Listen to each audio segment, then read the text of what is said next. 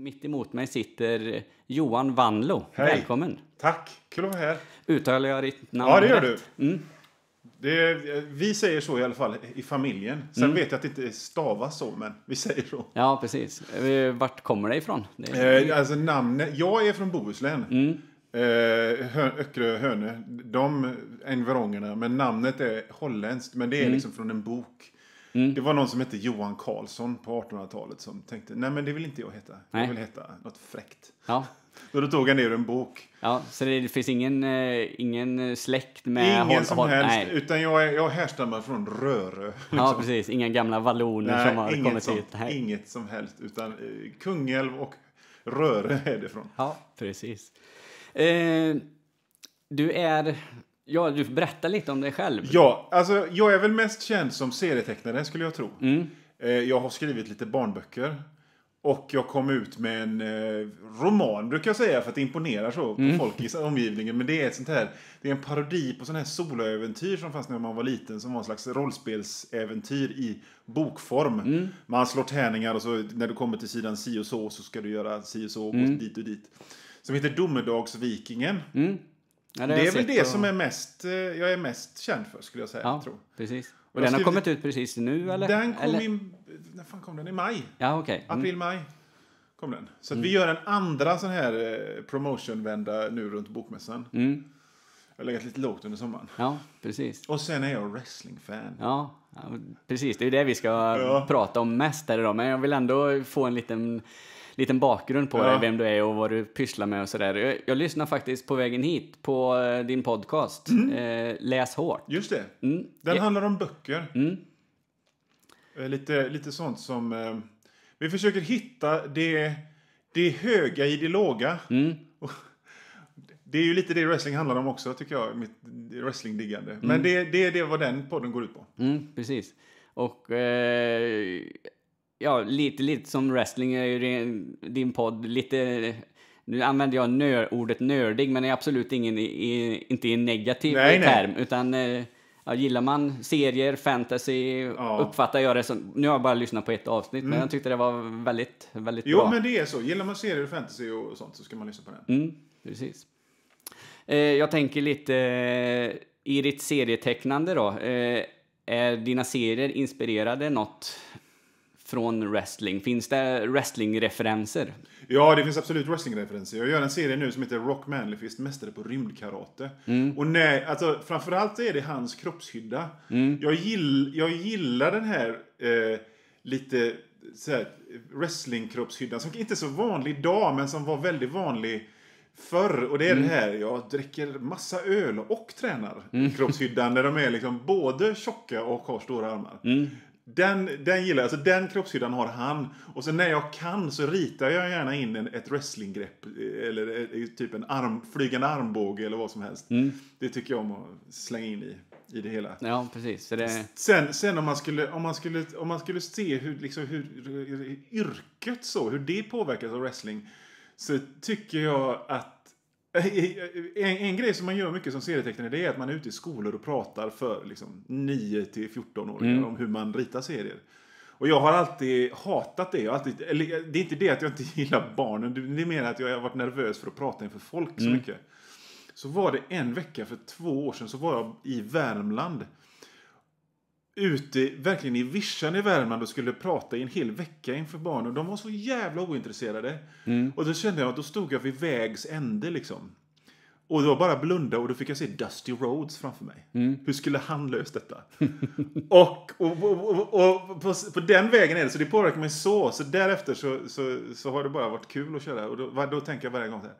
Hmm, Ric Flair, Dusty Rhodes, hur skulle de löst detta? Och så, och så försöker man köra på den grejen. Inte att man står och vrålar så här liksom, utan mer en, eh, att man suger i sig och strålar ut någon attityd på något ja, sätt. precis. Hur länge har du varit serietecknare? Är det serietecknare som du benämner som ditt yrke? Ja, det skulle jag säga. Illustratör och serietecknare, det, det, det, det är väl 50-50. Nu är det mer serietecknare än vad jag är illustratör faktiskt. Mm. Eh, Så det, det är liksom mycket, mycket, mycket egna serier och skämtteckningar och egna böcker framförallt som jag har börjat komma in på mer och mer. Jo, men så är det. Mm. Precis. Ja, det är spännande serier har man ju vuxit upp med. Så. Det, är Mm. mycket, det var mycket Fantomen och Agent X9 för mig Ja. när jag var liten. Vad hade du för serie? Eh, jag gillade Fantomen. 80-tals Fantomen är fortfarande en höjdare, tycker jag. Eh, men framförallt var det Marvel och superhjältar. Mm. Men jag var, jag, jag var, jag gillade precis allt. Så att jag läste Knasen och Lilla Fridolf också. Mm. Men om man minns det, det som jag verkligen så fick mig att bara tappa hakan av fräckhet, då var det liksom Marvel. Mm. Eh, sen idag då så läser jag fortfarande Marvel, men jag, jag är nästan, jag är en sån serienörd nu så att jag tycker liksom allt är bra bara det är serier. Mm. Jag kan säga när folk eh, säger ja, men Blondie är väl bra, att ja, den har, den, den har fina berättartekniska grepp. liksom.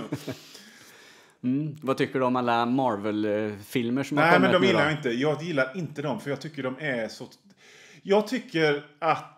Ja, okej, Captain America 2, den var bra. Mm. Men jag tycker så här att om man ska se en film, kan man, man... Jag tycker att en film ska vara spännande. En actionfilm ska vara spännande. Mm. De är aldrig spännande. De är bara, det har coola scener och liksom sådana grejer, men det är aldrig att jag... Jag tror det är, jag är nog lite för gammal Mm. nu för att jag läser serien fortfarande. Men, men just filmerna tycker jag, ja men det här är inte spännande någonstans. Jag behöver inte se en actionscen till i hela mitt liv. Nej. Är du sådär så att du sitter och, nej men det där stämde ju inte alls med seriealbumen och så gjorde de inte och så ska det inte vara. Nej, nej, inte alls. Utan, utan det är snarare tvärtom. Det är så här, typ, och så, jag har typ läst alla serier med Captain America som någonsin har gjorts. Mm. Alltså från, från, eh, från 60-talsvändan fram till nu har jag läst allt. Och han har den fräckaste kostymen som finns i seriehistorien. Den här med vingar på, på eh, huvudet och kragstövlar och eh, röd blå. Och så kommer filmen och de kan ju inte göra det i filmen för det ser ju jättefånigt ut i verkligheten. Man kan bara ha det i serier. Och det förstår man ju att då måste det bli någon konstig jävla hjälm istället och någon sån här kamouflage, eh, kamouflagegrej fast med en, röd, en vit stjärna på. Men det, det som stör mig då det är liksom att man anammar det i serien sen. Att Då får han samma kläder i serien när, när det bara är i serien det funkar med den asfräna kostymen. Så det kan jag irritera mig på. Lite så. Eh, jag brukar ju gå igenom the tale of the tape eh, Mhm. med gäster liksom för att lära känna dig lite. Och vi har ju, ditt namn har vi ju fastslått här och att du Mm. kommer härifrån, ja inte Göteborg, nu säger jag Göteborg men det, det men stämmer väl jag inte har bott riktigt. där i 20 plus år. Ja. Eh, och yrke serietecknare, ålder var 45. 45. Mm. Precis. Eh, familj. Ja. Mm. Eh, fru, två barn. Som är, vad är de, 13 och 10. Mm. Precis. Är de eh, intresserade av eh, wrestling? Du, det var en intressant fråga. Eh, jag märkte på min... Alltså jag har hållit det hem, alltså jag, jag har hållit det för mig själv, wrestlingen. för att det så- jag menar, det är inte eh, faktiskt, för jag, jag, jag vill inte pracka på dem någonting, för då Nej. blir det liksom gärna tvärtom. Så hörde jag plötsligt min son och hans kompisar började tralla John Cena-temat. jag bara, hm? Då var det något meme som gick med John Cena. Och då, under en kort period, så fick jag eh, min son, då, då visade jag liksom lite, det här är matchen med The Rock. Här är Roman Reigns.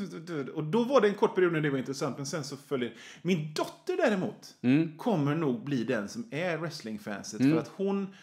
Jag stod och, jag stod och titt, slötittade på någonting medan jag gjorde något annat. Så kom hon och blev jättefascinerad. Och så började jag visa lite matcher med Sasha Banks och Charlotte och sånt. Och hon, hon älskar det. Och det är det enda tv-spelet hon vill spela. Så är det WWE, eh, vad blir det, 16K som, som, vi, eh, som vi har hemma. Så att hon blir nog fanset. Mm, precis. Men du har inte indoktrinerat dem då, Nej. utan du liksom smyger Nej, in jag, jag har lite? bara, bara låtit dem förstå att här är en rolig grej.